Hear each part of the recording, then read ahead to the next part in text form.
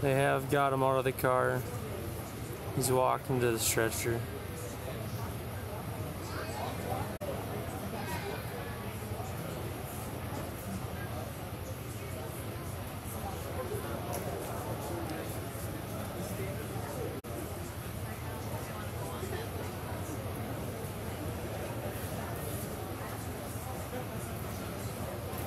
He must have been knocked out. He doesn't seem like he remembers.